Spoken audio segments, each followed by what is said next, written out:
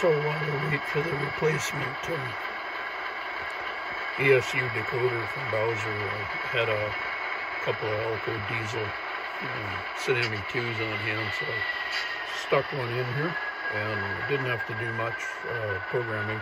Turned the volume down a little bit and uh, raised the bell volume and changed the headlights from whatever exotic value they were to dimmable headlights. So here goes. Um, I'll do a little testaroo here as okay.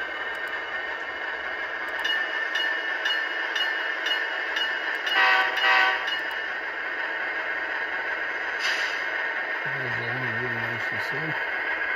Not much difference really between this and ESU in that regard.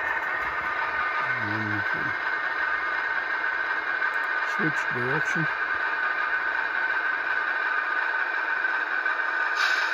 Light looks good now.